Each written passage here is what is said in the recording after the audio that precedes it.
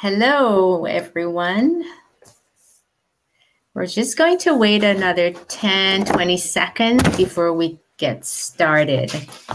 Good morning. I didn't want to say good morning because I'm in Toronto, outside of Toronto, and you could be afternoon. So, hi, everyone. Welcome. Do tell us where you're dialing in from. Would you believe our speaker is all the way in Hawaii? I am so jealous. right. Okay, great. So another maybe a couple of seconds and we'll get started. Mm-hmm. I know we, it, the timing is good. We were just coming out of the welcome, the session for Saturday. So people might be a few minutes late. I can see we've got people in Texas, lucky speaker. Ooh. Manila. Someone's dialing from Manila. Hello, Marie. Uh, that's really cool. And uh, Austin, Texas is in the house. I recognize the name, Shonda. All right. And of course, yay, Toronto. Can you welcome, welcome, my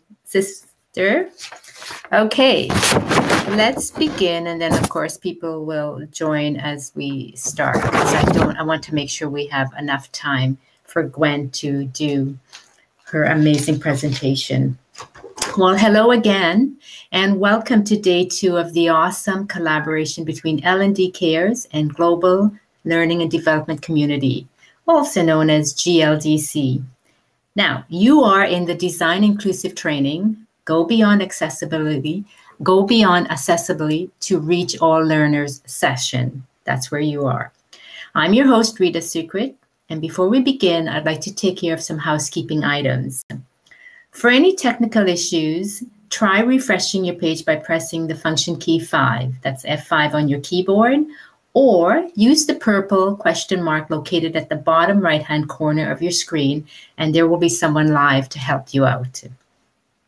On your right panel, there's a couple of tabs. You can see the chat. Most of you have been using it this morning, and that's great. Then you've got the Q&A and the poll.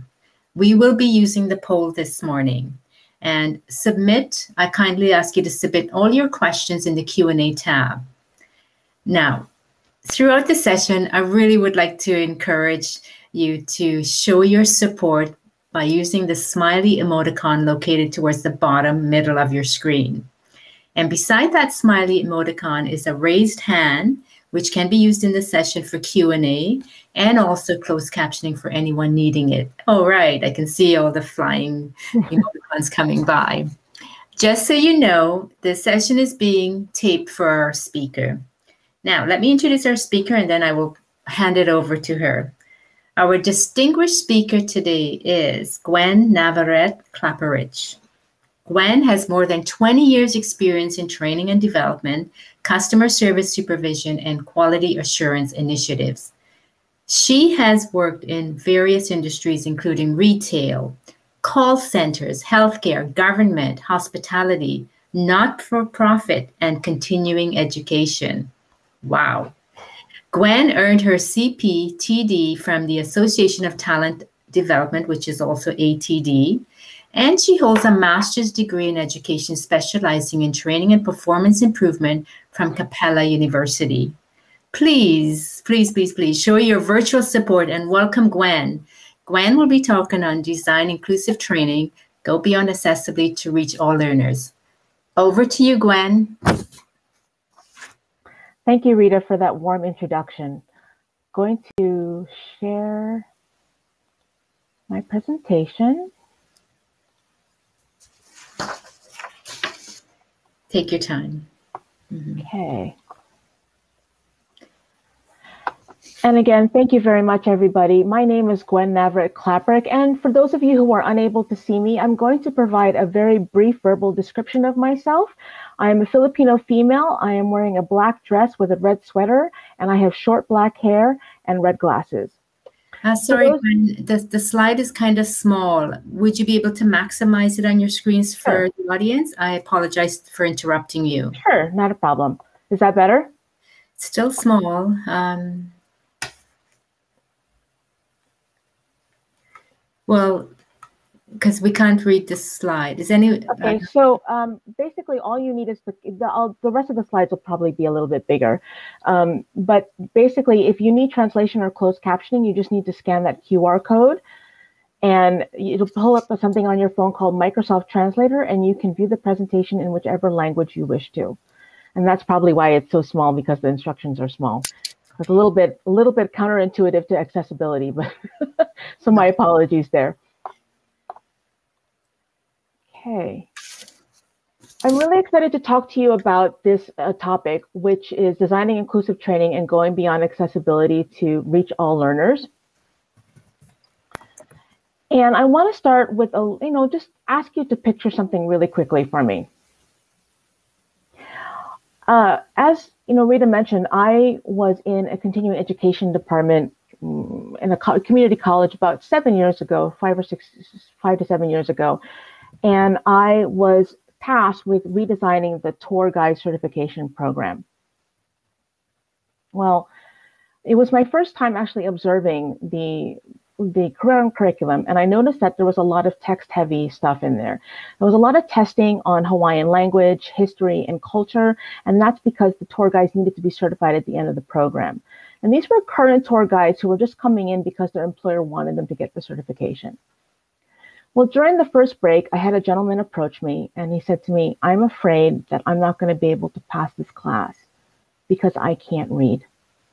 And I don't know what I'm going to do because I can't lose my job. And I was taken aback a little bit because I thought I had prepared everything, every contingency I had thought of for this particular training. Because before that, I had been able to make accommodations for other learners. So, for example, in the Philippines, a couple of years before that, I had a woman who also approached me and said, I can't see very well, and I don't want to tell my employer. So, what do I do when it comes time for this training class? And for her, what I had been able to do was sit her down in front of the computer and have her drive the PowerPoint presentation so that she could, in essence, see the presentation without disclosing to her employer that she couldn't see. So I was able to do that, but with this gentleman, I was unable to make an accommodation at that very moment. I had to think about it.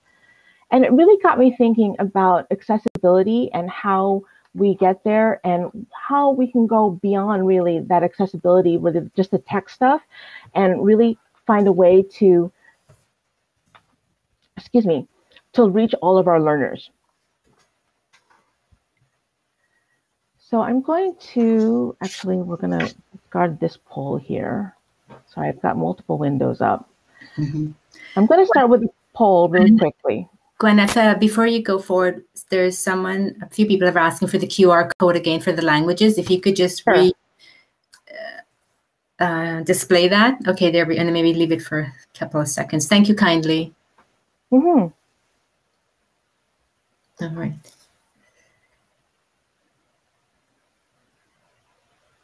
All right. Thank you. Go ahead. Okay. All right. So we're going to go ahead and launch a poll real quickly. Let me see if I can get this working correctly. When you design training materials for your learners, can you please tell me um, which of the following you consider? Do you consider their different learning abilities? Do you consider their different languages? You consider the literacy level of the participants uh, or their accessibility or none of the above? There's no wrong or right answer. Just wanted to get a gauge of where everybody is right now.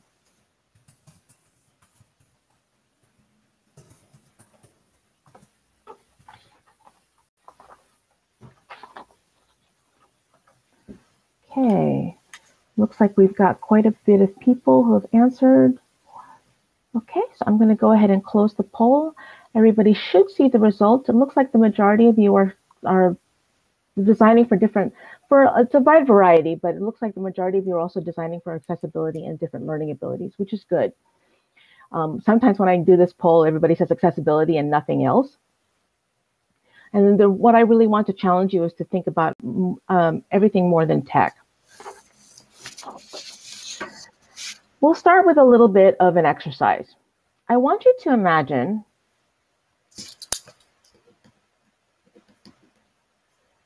the day that you started today, and I know it's early in the morning for some of us, but just think about the from the minute you woke up, what you did throughout the day until the time that it was that you actually signed on for this conference. And I want you to think about if something um, were to be different for you. For example, let's say that you were on the autism spectrum, or maybe you had a vision impairment or a hearing impairment, or maybe you had dyslexia, or you use a wheelchair, or you have a motor mobility impairment. I want you to think about the day that you've had so far and think about how different that day would be if this condition or situation applied to you and what barriers you would face, if any. And also, too, are there any tools that could, you could use to help you get there? Okay, so go ahead and put it in the chat. What would be different about your day if any of those conditions that I mentioned applied to you? Okay, um, I will read them as they come in. I'm uh, people are probably thinking uh, the fridge would be too tall if I was in the wheelchair. I'd need to brew my own coffee. Okay, thank you, Kara. Nice. Let's see. That's a good one. That is a good one. What else?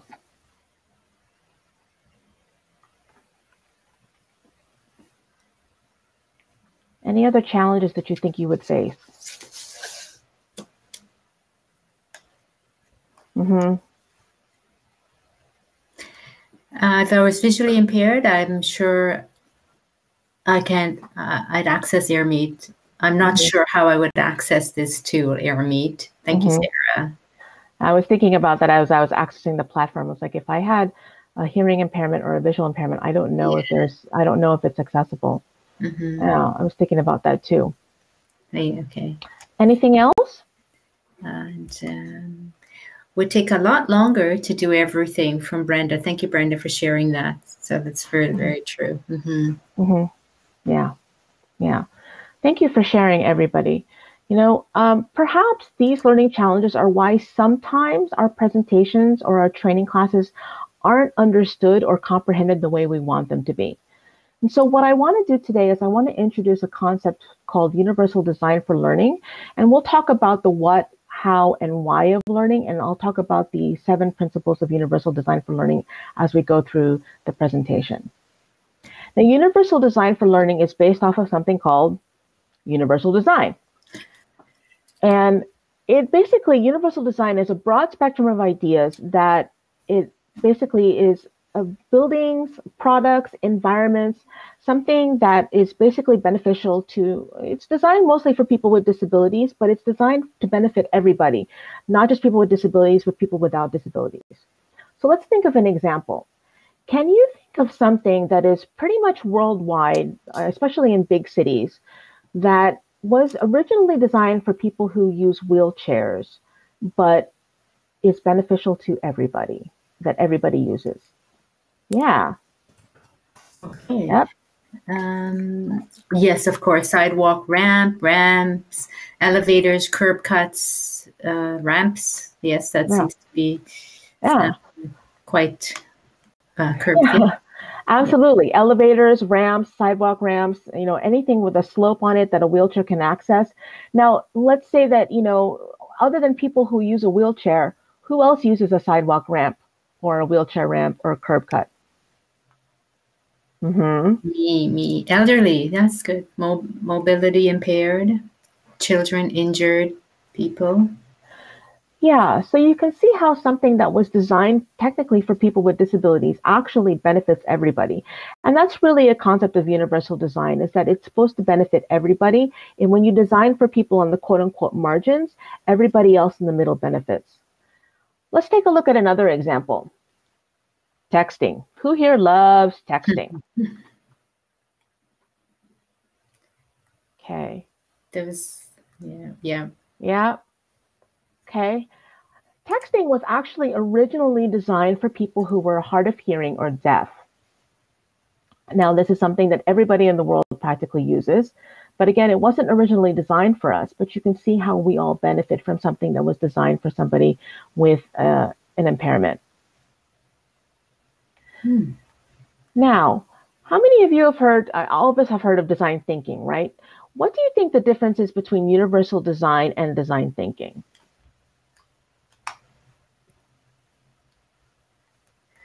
Okay. Um, so you can put it in the chat. Design thinking is to solve a single problem from Kira. Thank you. Um, speech to text. Also, design thinking is an approach to meeting particular challenges. Design thinking is making some useful. Mm-hmm. Some of the comments coming in. Okay, great. Thank you. And the universal design and design thinking are both user focused. What the difference is, is that universal design is more focused on accessibility and design thinking is more focused on innovation. So I will give you a little bit of an example and we'll decide whether it's universal design or design thinking or maybe a little bit of both. How many of you are familiar with this peeler? It's the OXO peeler. Has anybody heard of it? Yeah, Kara has. Yeah. And Okay, great. So basically, for those of you who are unfamiliar with the OXO peeler, it was invented by a gentleman who noticed that his wife, who had arthritis, was having problems peeling vegetables. And so he basically put his design thinking skills to work and came up with a peeler that had a comfort grip and a wider grip on it so that she could grip it a little bit easier, even with her arthritis. And it's actually something that's taken off worldwide. It's very popular. Some of the highest brand names sell them. You know, you can find it anywhere from you know, at Williams Sonoma or Target or one of the, a lot of kitchenware stores actually sell them now. But again, it was designed for somebody who necessarily, you know, wasn't in the quote unquote mainstream, but everybody benefits. So do you think this was universal design or design thinking or a little bit of both? Mm. Let's see. We've got um, both, both uh, Brenda and Sarah, Kara, both uh, Sarah. They're all, most of them are agree, agreeing that it's both, a bit of both. Okay. Great. And universal design for learning is based off of universal design. And what I like to equate it to is going to a restaurant and ordering a meal. Actually, I can't take credit for this analogy. Um, a professor who teaches universal design for learning, uh, Dr. Katie Novak, actually came up with it. And basically, when you go to a restaurant, there are always options, right? There's options for your food allergies, for your your your taste preferences, for or if you go pre-COVID, we could go to a buffet, right, and get whatever we wanted. Everybody enjoys an equal meal without feeling any different, noticeable difference from the guest sitting next to them. And we're all enjoying our own meal. Now, most training, not all, but most training is designed as a prefixed menu where you sit down and you have four courses that are set for you. Okay. And sometimes, you know, when you go to those restaurants and say no substitutions allowed or no personalization allowed or no custom orders allowed, it's kind of the way some training is actually designed and developed. What UDL does is it actually helps you design for a wide variety of learners. So you see here that this is learner diversity. We've got sensory, mobility, and hidden challenges.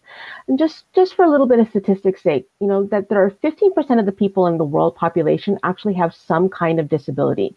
Now that doesn't sound like much, but that's actually over 1 billion people.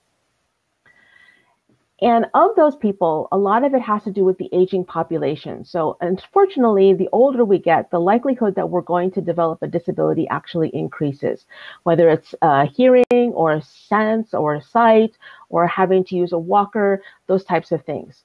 And they're predicting the they're predicting that the population of people age 60 and older is going to double by the year 2050. Right now, it's about 12%. They're saying it's going to be almost 24% by the year 2050. Unfortunately, I'm going to be in that population by that year, but you know, we'll leave that conversation for another day.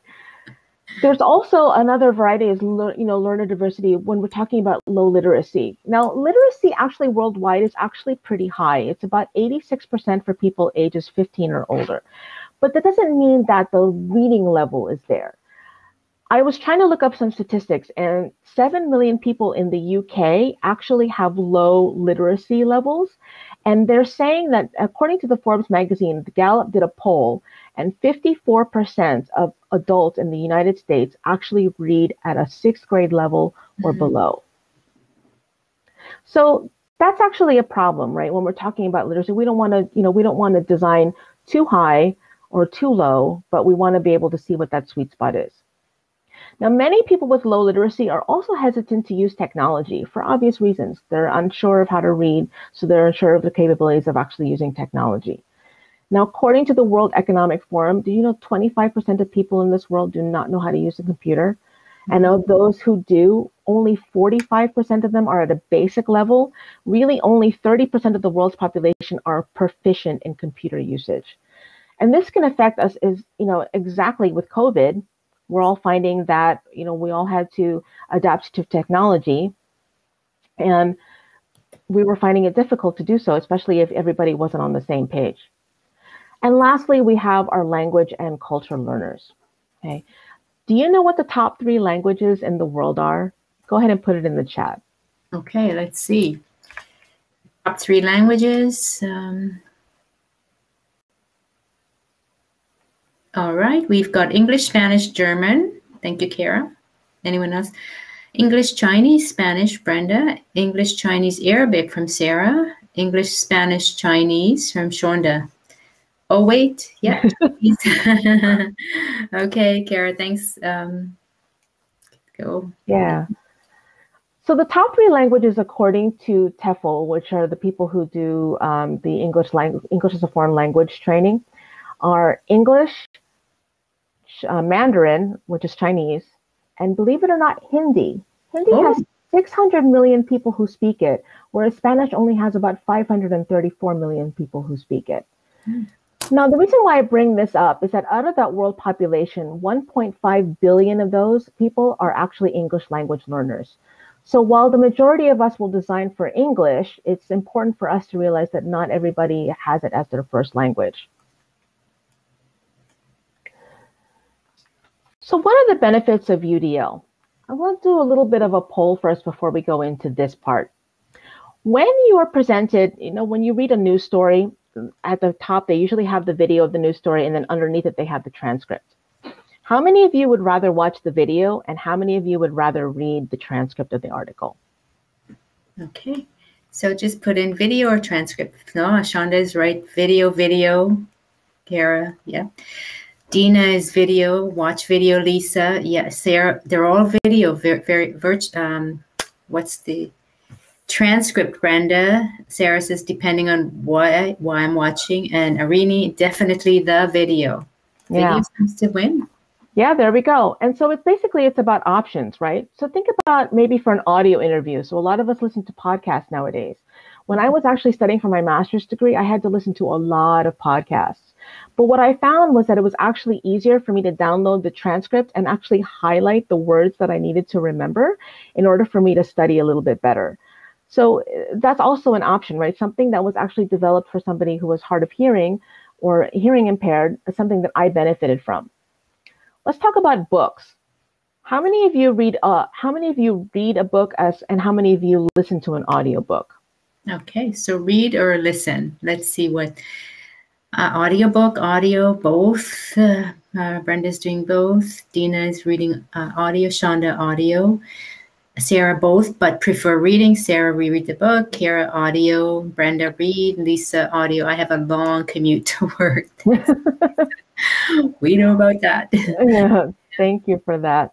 Thank you for that. You know, and again, audiobooks were originally designed for people who uh, had vision impairment, but all of us actually benefit from that if we choose to listen to an audiobook, correct? Mm-hmm. So what that means is that the benefits to learners when we use universal design for learning is that they have greater access to presentation content.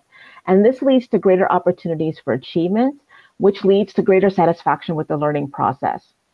Now, benefits to us as trainers is this. If we design with universal design for learning in mind at the very beginning of our process, as opposed to afterwards, and we don't treat it as an afterthought, we don't need to make accommodations in the future. And UDL actually gives us tools to consider how and what to present in a systemic and structured manner. Now, did anybody notice that I just did a training boo-boo? Does anybody know what I just did? Uh, let's see. Um, you read what was on the screen.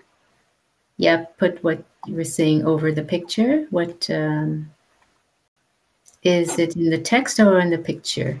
Hmm. These are what comments are coming in. So I'm not sure if it's relating, if it's rel- relating to your question. Yeah. So do you want to share your boo boo? sure, sure. So I read from the screen, and yes, I see that the text is over the picture. Sometimes we do that as well, yeah. Um, but I read from the screen, and uh, that's like the number one thing that we're all told when we have give our presentations, right? Is do not read from the screen. Why? Why do we not want to read from the screen? Let's because see. I will check the chat and see what. Um, okay, so um, let's see. Cog overload, Mayer's multiple principles, insult the intelligence of people. Because of redundancy principles, people will remember less. Ooh, some really good ones. Mm-hmm. I I was always I always use what Shonda writes when when I'm with adult learners. I always yeah. say don't insult the intelligence of your audience. Um, cognitive overload, I agree with Dina. Kara is agreeing with Dina. Your brain is processing the same info using two channels, which makes the learner work harder. That's from Sarah.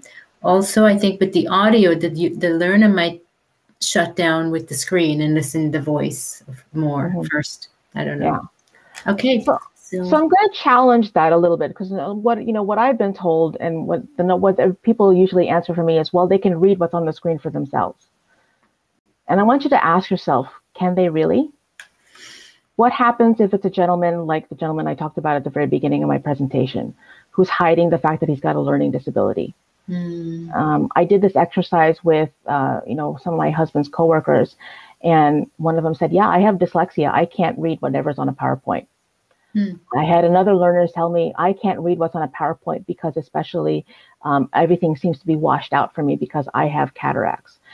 So if they have some kind of vision impairment or reading impairment, find a way to actually weave the text into your presentation so that they know what's on the slide. Um, but try to avoid saying, you can just read what's on the slide because sometimes people can't. So I'm just going to, to kind of put that challenge out there. Mm -hmm. Okay, let me move on here. I just have a comment from Dina. Mm-hmm. She works with students who have learning disabilities, processing speed, and working memory. They need that info.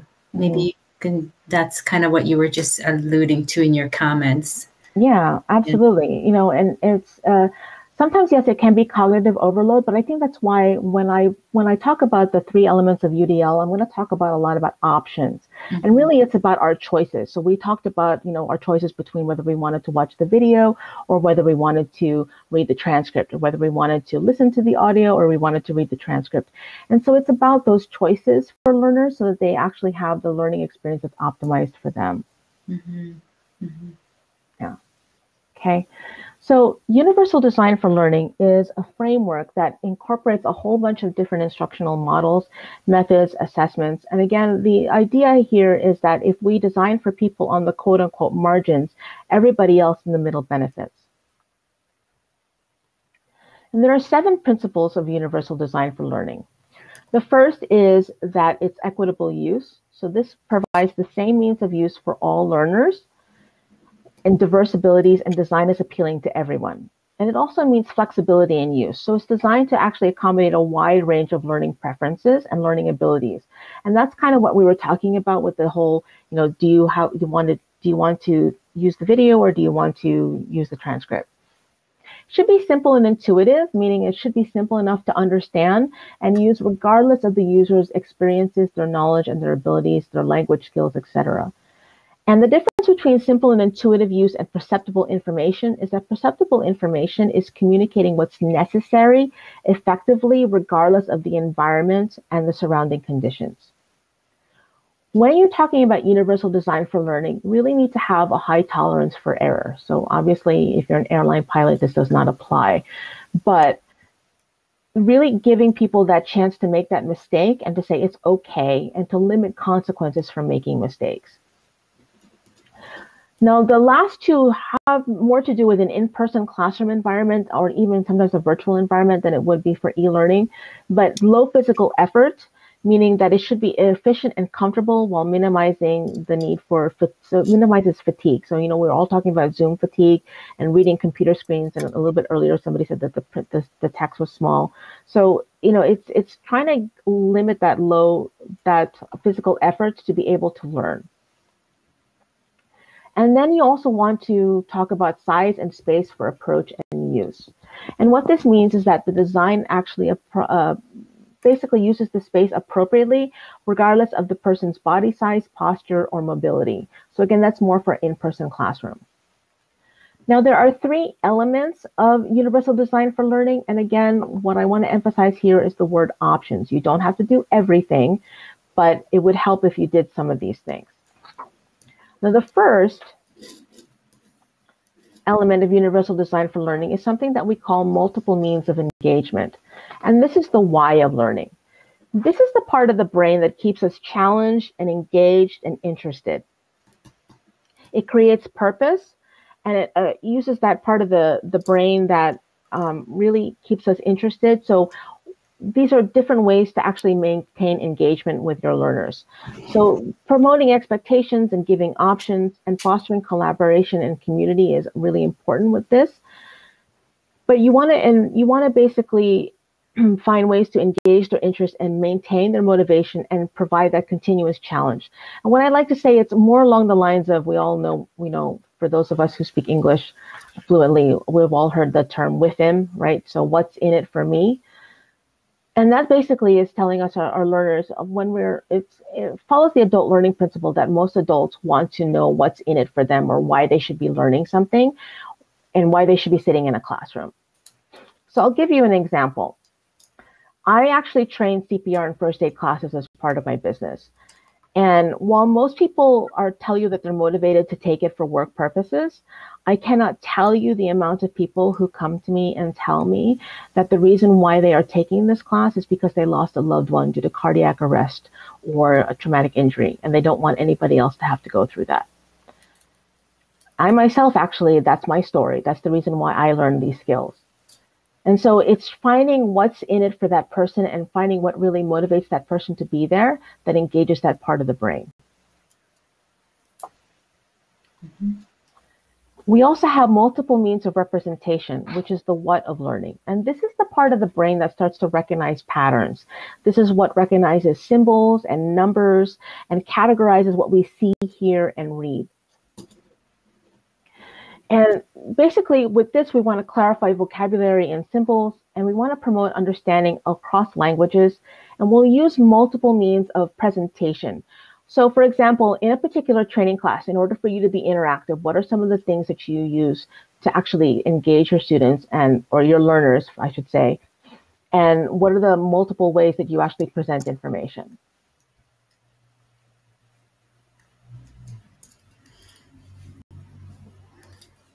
What are some of the ways that you present information in a typical training class? Okay, so let's see. Um, if you can in the chat, maybe share some of your uh, ideas you've used. Poll, questions with responses in chat, game at the end, video slide.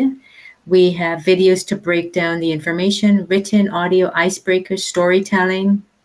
That's mm -hmm. yeah. Collab with neighbor, collaboration. Mm-hmm. Yeah, those are all ways that you can present information so that it's a little bit varied and then it will actually reach people in different ways.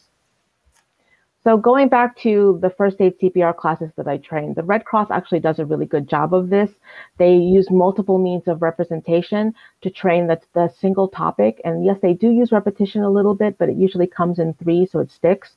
Usually they do a facilitated discussion, then they'll do a video that actually shows the actual skill, that, and then they we do hands-on practice. So again, multiple ways of actually reaching people through the way that they learn. And the last element of universal design for learning is something called multiple means of action and expression. And this is the how of learning. And this basically involves the strategic network of our brain that indicates how we plan and perform tasks and organize our thoughts. And really, it's the strategy and goals for how we use it for ourselves as learners. So this is basically how we in, as individuals learn. Now, this actually, I will say, is where trainers can make the most impact as far as reaching all learners or in your design. What this means is that it's actually telling students that they have an option or telling your learners that they have an option of telling you how they have learned what you have trained them. For example, it's a way of checking for understanding. I will give you a story that my son is on the autism spectrum, and he was actually in class in a community college and he had to write a paper on mangrove trees, five page paper on mangrove trees. I don't know how he did it. But he was complaining to me and he said, You know, I don't understand why I can't just bring in a mangrove tree and show my professor what I learned. I didn't have an answer for him. Because would that have actually achieved the objective that the teacher had in getting her students to understand what a mangrove tree was or what the features were?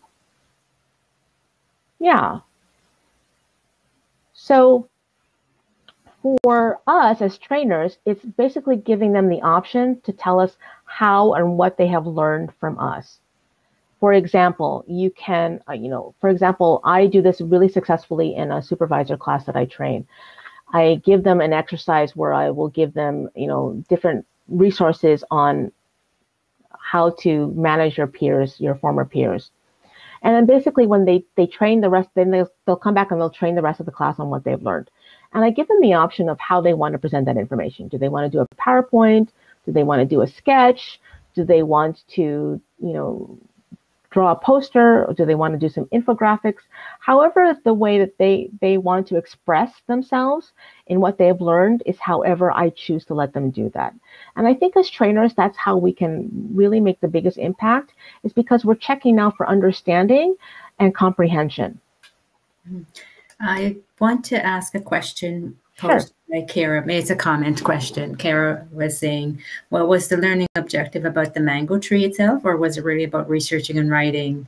And it's a valid point, right? So maybe you can yeah. comment on it. If thank you. So yeah, thank you for that question. The the I think the exercise itself was to, um, you know, it was a community. it was a freshman level course. So the objective really it was a biology class so really the objective was to learn about mangrove trees and to display what they needed in order to understand and to meet the objectives of the class, which was to understand what a mangrove tree was and what the features are and how you could tell what a mangrove tree looked like, etc. Um, the research and writing was a secondary tool to basically get them to learn how to write academic, academically, um, but it was the secondary objective and not the first objective. So that's actually a good question. Mm-hmm. Yeah. So I hope that answers your question. Now, I realize that a lot of these examples that I'm talking about are in-person class training, or sometimes uh, how do we do this in a virtual world? It's really the same principles. No, we just have to provide options. So, for example, multiple means of representation means accessibility, or it means giving options on whether you know we're going to. How would you how would you prevent present multiple means of media in a virtual world like this. So what are some of the examples that you gave earlier? You gave earlier something like, you know, group work via breakout rooms or polls. Those are things that you can use for multiple means of representation. That also works for multiple means of engagement, meaning to keep their interest. And then for multiple means of action and expression, it's again giving them options to tell you how they have learned what they have learned. Yeah. Okay. Now, before we move on, I want to um, pause and see if there are any comments or questions. Okay, let's see. So feel free to ask questions or comments or just uh, have a dialogue with Gwen. That's absolutely welcomed as well. Um, yeah. So when you think of universal design for learning and the description that I just gave you, what comes to mind for you? Okay. For the classroom or the virtual, would, where would you like? Either way, Either okay. way. Either way, if uh, it's open for, and let's see. Um, so universal design, what comes to mind for you, whether you're in the classroom or whether you're virtually training? Okay, bunch of questions. Video for reply. I find it interesting that UDL is used in learning and development since I learned it as a special ed K-12 teacher. I love it. Mm-hmm. Freedom to represent knowledge, learning, providing options. Is there a resource that we could consult that would help us with utilizing UDL in our future training development? Yeah, actually, I will actually put that in the chat as well. It's an organization called CAST. And thank you, Michelle, for um, your story. Yes, UDL is actually mostly used in K through 12 and higher education, but there are a select, uh, a few a few higher education classes that deal with training and development that are actually starting to use UDL. That's how I stumbled upon it um, and found it you know, there's also uh, some articles in Training Industry Magazine on it and things like that. But the organization that came up with the principles of universal design for learning is called the Center for Applied Science and Technology, and I've actually put the uh, the website in the chat for you. Okay, thank um, you. And they actually will have a lot of resources that you can use as well to help you with this. Thank you. And also too, if you want, I will have my email address at the end. You can also email me and I will send you some resources. And connect with you on LinkedIn is an option as well. Yes, connect with me on LinkedIn. That's an option as well. And I'll be happy to send you those resources. Thank you. Okay. So let's talk about applying UDL to training. And I'm going to talk a little bit more in terms of accessibility now. But um, again, it's not necessarily e-learning. It's mostly uh, how do you do this in a virtual environment or how do you do this in a tra- in a training classroom. But let's talk about how you could apply UDL to your actual training classes. So we have a picture here of an eye. I need to describe what's on the slide for those people who are vision impaired. So some of the things that we could do to actually increase accessibility for those with vision problems, especially if when as we're going back into the classroom, I know we're all probably going to do some blended learning or some hybrid learning. Uh, as we go back into the classroom, it's really important to allow people to have optimized seating, meaning letting people choose where they want to sit so that they can see the screen or they can see the present the presenter or they can see the front of the classroom. Same thing with virtual environments. You want to give them that optimized seating per se so that they can actually see what's on the screen itself. I would suggest using large text and images with high contrast colors. So they're saying about, I forgot what the exact number is, but there's a good portion of the population that's red green colorblind. And so they won't be able to actually see the difference between red and greens and yellows and things like that. So addition with that is you want to use text or symbols to actually differentiate things. So rather than just using, say, for example, a stoplight, you know, with red, yellow, and green circles, maybe you want to use an X for red and a check mark for green. So also using those different those different um, kind of symbols to kind of distinguish what it is that that the color represents would be helpful. And one of the things that I usually recommend for people who, you know, to tell you, to see whether or not somebody who's colorblind or whether the color will actually come out well is if you print it in, in black and white and then you throw it on the ground and you look at it from a standing height. If you can read it from that height and you can see the you can see the different you know shades of gray from that height, all okay, then you're okay as far as high contrast colors are concerned. I would also use sans serif font. Sans serif meaning it's without the little squigglies above and below. It's very linear and very straight. And I would use at a 24 to 28 point font. Now, when I'm in a classroom, what I usually like to do is I like to go to the back of the classroom and see my slide and see if I can read it from the back of the classroom because the size of the room also depends, also you know determines how big my my font size is going to be. And you also want to use proper lighting uh, and you want to describe the slides and the images that are on there for anybody who may be vision impaired. Okay. For hearing, so we have an ear on this screen. Again, optimized seating is good. Um, it actually allows people to you know, maybe position themselves where they can see an ASL interpreter. This also goes for Zoom or for any other type of uh, video conferencing. If they can quote unquote pin the ASL interpreter so that they can see that person, it would actually um, help them. Uh, You want to use a lot of visuals. And when you're actually training, either virtually or in a classroom, it's really important that we face the front of the audience or face the camera. And the reason for that is that some people actually who are hearing impaired are able to read lips. Mm-hmm. And if we turn around and we face the, the, the whiteboard or we look down at our notes, they may not be able to read their lips as clearly. I would, again, try to use appropriate volume. Closed captioning and transcripts are always an option. Try to use proper acoustics when you're in a live environment so that the echo doesn't come off. You know, you've ever been in those presentations where the microphone echoes and you can't understand the speaker because the acoustics are so bad. It's kind of the same principle. And then in a virtual environment, you also want to use, make sure that your microphone and your speakers are able to be seen and heard. So testing that out. Now, access for mobility is interesting because there's different ways, um, and there's different. There's so many different mobility issues out there, but I will give you some basic tips. Again, we're talking about optimized seating, and that basically means are your seats um, accessible to people with wheelchairs? Is it low enough?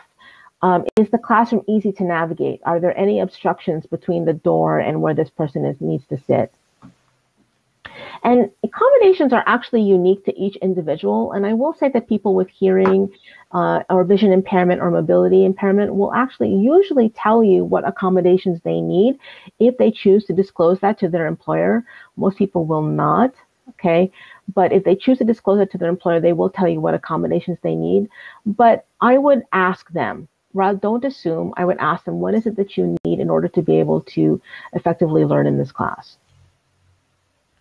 For my virtual classes, what I usually do is I send out an announcement a couple of weeks ahead of time to say if you need any special accommodations, such as an ASL interpreter or closed captioning, please let me know by this date and I will do what I can to accommodate you. Now, our hidden learner challenges this would be people who have chronic illness, maybe have mental illness, maybe they have dyslexia or dyscalculia. Dyscalculia is the math form of dyslexia, so they can't see numbers, mm-hmm. they see them all backwards. You want to use simplified instructions so that they're able to read it. And again, have it be easy to navigate and easy to understand.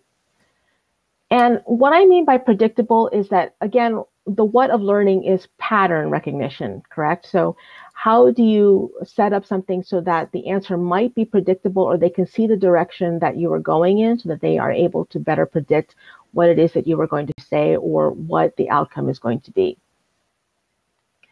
And the reason why I also toot sans serif fonts, for example, this is like Arial or Calibri or Garamond. The reason why I advocate for using this in all presentations and in all texts really is because people with dyslexia have a hard time reading anything that is um, with a serif, meaning the little squiggly line below or above in some of the in some of the fonts. So using something that's not script, but using something that's plain text is actually easier for people with those learning disabilities to read. Again, you want to use multiple presentation formats. So using the multiple means of media that are available to you. And I would suggest recording training. So I, this training is being recorded for me so I can see how I can be better at it. But it also will help learners who maybe, you know, have maybe miss a part of it or they want to revisit a part of the training. And nowadays with Zoom, we all hear the same thing. Are we going to record this? Can we have the recording? Can we have the slide deck? So it's all, um, you'll see how it all kind of ties together. Now with low literacy, it's almost the same thing. Um, I would suggest trying to write your training materials at a fifth grade reading level. Um, mm. That actually has simplified instructions to it. It's easier to understand. You want to use visuals. Okay, so again, there's the, and describe the visuals. So there's the book here. Uh, using peer language and familiar words will really help somebody with low literacy. So for example, using the local language or the local terminology or the, you know, that they, and really being able to explain jargon and complex vocabulary is really key. But using familiar words that are um, comforting to them are actually will encourage them to pick up the learning a little bit faster. And you want to make it as interactive as possible, which is what we're doing already as far as training is concerned. A lot of us do train interactively. And we want to limit the content material. So try not to overload them. And a lot of us do this already uh, with chunking of material, correct? And we want to give concrete examples as opposed to abstract concepts. So that's why sometimes I try to tell you a story that actually matches the concept that I'm trying to portray. And again, recording training would help. Okay. Now with digital literacy, it's a little bit harder. So you can see there's a computer screen here on the slide. Unfortunately, with some people who absolutely do not know how to use computers at all or do not know how to use technology, you might have to print hard copies of your material or send it to them in a PDF if they're at least able to uh, download an email. Believe it or not, I read a study that blended learning actually helps people improve their digital literacy because they come into a classroom and they're actually using the computer and they're using the same program and then they or, or they're learning how to use the program so when they go back and they practice or when they use the, the online portion of their learning, they're actually able to navigate it a little bit better. And that's also too why it's important when you are training to give a little bit of a tutorial on how to actually access. So for example, you know, before this whole conference, we all had a couple of videos on how to use AirMeet and just to be oriented to the technology, especially if it's new for us. So simple instructions and providing how-to job aids will help people with low digital literacy. And lastly, we're going to talk about our, our language learners. So again, using images. So again, describing the images. So we see the globe here on the screen. You want to use the appropriate reading level and try to provide as many hands-on experiences as possible and also to real world application. And this actually applies to pretty much all learners, especially adults, right? If we can apply what they're learning to the real world, the more likely it is that they will absorb and they will mm-hmm. take and they will use that content. And recording the training. Now, I will give an example of how I was able to do this. My husband is a safety trainer, and he had to actually train uh, on a farm how to use a certain piece of equipment um, safely. And most of the people who worked on this farm spoke Ilocano and Tagalog, which are two Filipino languages, and they could not speak English very well. What he was able to do was he was actually able to record him training a couple of handful of people who spoke English and the language, and they were actually able to train them in that language and demonstrating how to use the equipment. And that's actually how they ended up training the general population. So those are also options that you can use at your just when you have those tools at your disposal to design for uh, all learn uh, the majority of learners out there. And that is pretty much the accessibility and, and then also to the translator apps. So for example, I gave uh, Microsoft Translator. There's also Google Translate. Um, there's a lot of translator apps that are out there right now that you can use. There's also some, you know, vision apps and hearing apps. So those are all tools that you can use in your learning as well. Mm-hmm. Okay, we're coming up on our time. Mm-hmm. So what I'd like to do is uh, I would like to open it up for questions, and I'd also like you to tell me what is one thing you've learned from today's session, or what is one thing that you will do differently when designing training materials and presentations. All right. So I invite everyone, if you can, just please enter your comments, your responses in the chat for us.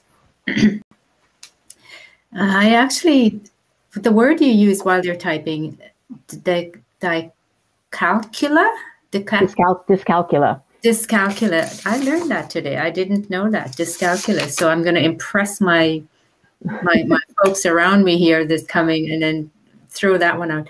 Shonda said, printing in black and white, drop to the floor and see if I can read it. Very good. Thank you, Shonda. Thank you. Uh, anyone else want to share what their takeaway is? And Val, thank you. Val says using blended learning for non-tech savvy folks. Blended, yes. And anyone else? We'll maybe see if one more puts that in. Uh, Michelle says, I am transitioning from K-12 teacher to instructional designer. I am so glad to hear that UDL is used for adult learning. And Sarah has says shares that there are so many UDL principles to consider that I should develop a checklist right on. Brenda, remember to include options. Shonda, speak slowly for those that are audio learning. Michelle says CAST is an awesome resource. Mm-hmm. Mm-hmm. I want to, I have a question, if I may ask you, um, Gwen.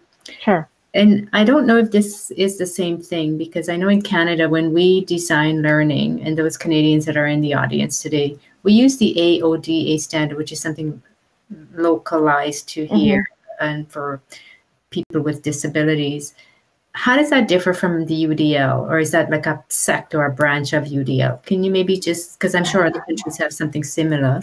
So this is a standard that you use for disability for access purposes or? No it's for designing training. You know we would use the closed captioning the audio the the visual things just basically a lot of the stuff you talked about because mm-hmm. i implement those in features. So i was just curious like is maybe they took that from udl it's possible it's possible. And udl actually goes beyond accessibility in a way so a lot of the things that I usually when I learn about accessibility, it's always e-learning or, you know, what's going on technology wise. You know, then usually when people think of accessibility, they're thinking of they're limiting it to vision impairment, hearing impairment, and reading and you know text and all those things.